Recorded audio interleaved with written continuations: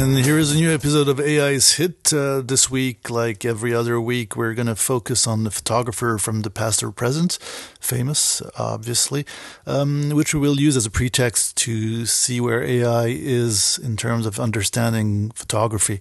And uh, like every other week, um, uh, we're going to ask AI, um, which is for today ChatGPT for the information, and DALL-E and Midjourney for the illustrations um, to tell us a little bit more about the bio of this photographer. Martine Franck was a renowned Belgian documentary and portrait photographer born on April 2, 1938, in Antwerp, Belgium. She was the second wife of the celebrated French photographer Henri Cartier-Bresson, and her association with him influenced her work and approach to photography the first two pictures, like every uh, week from a from a moment now, from has been a few weeks. Um, the first two pictures, I ask AI, DALL-E always on the left, Midjourney on the right, to illustrate with a photograph of someone who looks like the photographer uh, and a photo of that person taking a picture uh, in the style of the photographer. And here we definitely see for those who know those two tools and have been following the series, uh, the style of DALL-E and Midjourney coming out. Maybe something more spe- special on the left with DALL-E, but um, yeah, let's continue. Franck began her career as an art historian, studying at the École du Louvre in Paris. However, her interest in photography led her to pursue a career as a photographer. In the early 1960s, she traveled to the United States, where she worked as an assistant to photographers, including Fred McNamara and Eliot Elisofon. Interesting pictures, depiction of uh, Belgium at a certain period. Um, quite actually similar in terms of in terms of composition. Maybe we can re- we can see that DALL-E has a different view of the architecture in Belgium at the time. Um, Midjourney has always this kind of very, uh, very well defined, a little bit too aesthetically pleasing way of depicting things, but um, could work. Not sure that there's any photographer style coming out of those two pictures. This exposure helped her develop her photographic skills and refine her artistic vision. In 1970, Martine Franck became a member of the prestigious Magnum Photos Agency, founded by Henri Cartier-Bresson and Robert Capa, among others. Magnum Photos is renowned for its photojournalism and documentary photography, and Franck's work aligned well with the agency's ethos.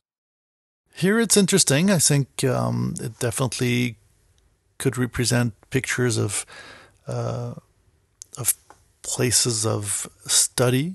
I'll call it like that, the library or whatever. Um, and I kind of think DALL-E has a better rendering, uh, realistic rendering in terms of composition of the details.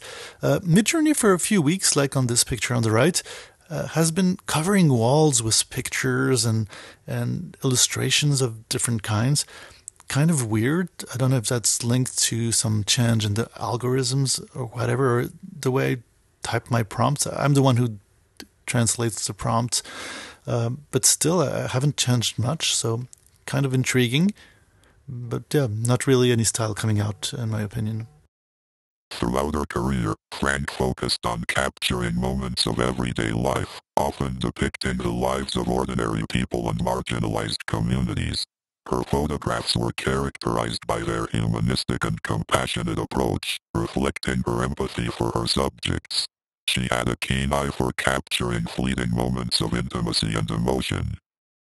Here also, I think DALL-E does a better job of showing kind of implicitly that there's a photographer maybe in a big city. I'm not sure it looks like New York. It's more New Yorky on on Midjourney's try. But Midjourney, I think that's kind of revealing today, and we've seen it every week uh, with Midjourney. But here, I think it's really starting to be almost depressing uh, in terms of images. Uh, the subjects always look weirdly towards the camera. It's hard to find any subject turning their back to the camera. Um, and yeah, not really any style. Maybe on the maybe on the DALL-E side, maybe a, a style that could represent a specific photographer, but not very obvious to me. Martine Franck's work took her to various parts of the world, including India, Ireland, Nepal, and the United States, among others. Her portfolio covered a wide range of subjects, from artists and intellectuals to the elderly and disabled. She also documented the lives of women and the effects of poverty on various communities. Here, an interesting photo of a what is supposed to be a press, a photo press agency. Um, definitely has put some pictures uh, that look like they're put uh, for editing on the walls. Uh, so I think both are pretty good at it. I kind of prefer the DALL-E version, which could correspond to photographer's style, actually, here. Um, on the right, I think it's more like a cinematic view. It looks more like a TV series. Midjourney has this really uh, kind of almost obsession uh, with showing us very detailed and very hyper realistic in a certain style, um, pictures in a certain style. Beyond her career as a photographer, Franck was actively involved in promoting the arts and photography. She co-founded the Foundation Henri Cartier-Bresson in Paris in 2003, dedicated to preserving and promoting photography as an art form. She also served on the jury for numerous photography awards and exhibitions. Here again, I think we go back to a few weeks back where I was saying DALL-E has probably a better way of composing the images. I'm kind of stuck since an update where we could extend in a second time when doing creating the pictures extend to canvas. I think everything's too tight uh, with DALL-E uh, per se if you don't use this canvas extension tool. And I think that's a problem. I think user interface, user experience uh, in those kind of tools is really important for the adoption and having good results. And I think there's something wrong since a few weeks. Uh, on the side of Midjourney, uh, here it's really typical Midjourney, in my opinion. The kind of focal lengths uh, emulated and simulated, the way the subject looked at the camera. Otherwise, the style and period looks good for both. Maybe more of the photographer's style on the left, not really sure. Unfortunately, Martine Franck passed away on August 16, 2012, in Paris, France. Her legacy as a talented photographer, her contribution to Magnum Photos, and her commitment to promoting photography as an art form continue to inspire and influence photographers around the world. Here I think exactly what I said before. Um, DALL-E is trying something more subtle and more implicit. Uh, maybe we could find some of the style of the photographer. I, I don't really believe it here, um, knowing some of the work uh, this photographer has done.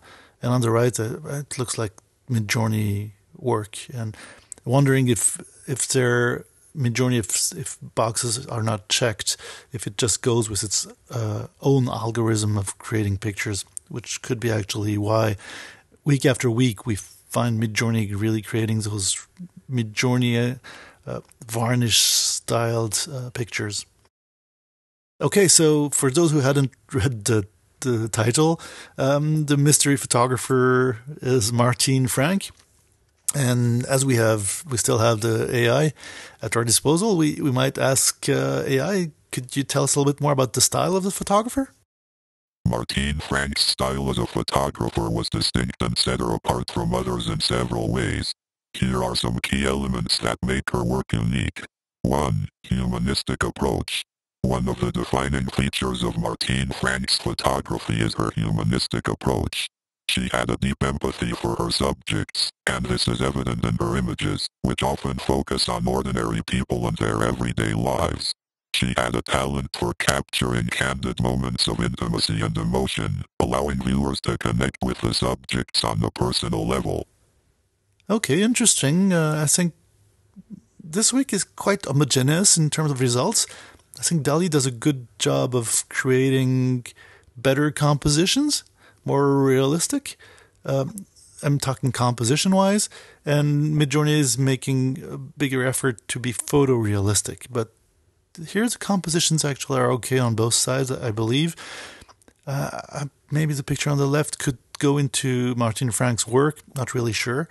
Um, one thing I realized this week is that it seems DALL-E has trouble going into details of faces and the finer details that we could find originally. Um, the style is still there, the, the DALL-E style, but I think it's maybe something with the price of energy or uh, how the algorithm limit the quality of the renderings. I don't know. It would be interesting to know a little bit more about a little bit more about the the technological side. Maybe it's this change of algorithm with the framing, which is tighter. I don't know. Um, on the side of Midjourney, here it's kind of generic how it renders the image. Even so, it's interesting. Not sure it has anything to do with uh, Martin Franck's style. 2. Empowerment of marginalized communities. Franck's work often shed light on the lives of marginalized communities and individuals. Her photographs gave a voice to the less privileged and underrepresented, highlighting their struggles, triumphs, and resilience. Her images were not only aesthetically powerful but also socially impactful. Here again, I think Midjourney will. Uh, I don't have much to say about it. Always those people staring at the camera in some weird ways. Um, on the left, I think it's doing a pretty good. DALL-E is doing a pretty good job of creating some some story and having something that could remind us, reminisce. It's kind of reminiscent of of Martin Franck's work, and and also one detail that you don't see otherwise is I I translate the prompts for the, for DALL-E and for Midjourney. And while DALL-E definitely goes to black and white automatically when asking for something that looks that's inspired of with Martin Franck's style, which she used a lot, uh, almost exclusively. Um, and some many times actually I have to force Midjourney to do black and white, not because Martin Franck never used color, but here it's really kind of omnipresent. It never gives us black and white, and and the colors are really not really actually not really corresponding to the period of time technically. So I, I sometimes I force a little bit the, the elements and, and I talk about it. 3. Black and white photography. While color photography was becoming increasingly popular during her career, Martine Franck predominantly worked with black and white film. This choice added a timeless and classic quality to her photographs, enhancing the emotional impact of her subjects. 4. Interest in artists and intellectuals. Franck had a fascination with the world of artists, intellectuals, and creative minds. She often photographed well-known artists, writers, and thinkers, capturing them in their creative spaces or during moments of introspection.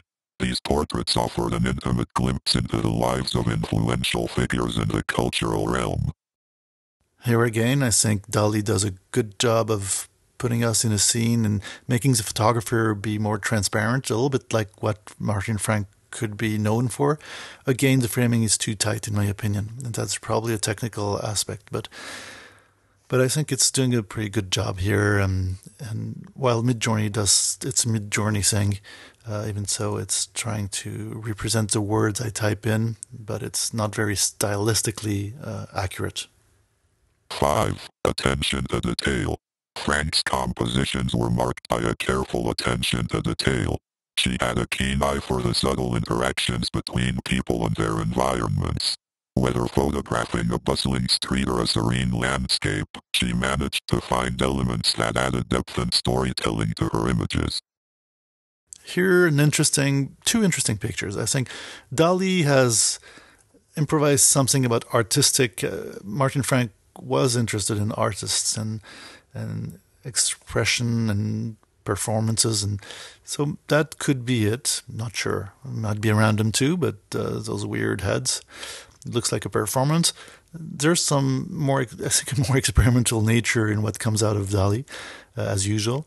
Um, and Midjourney does a pretty good job of showing us a nice picture, uh, very aesthetically pleasing, super hyper realistic. But uh, yeah, not sure. It could go into Martin Franck's style. 6. Connection with Magnum Photos.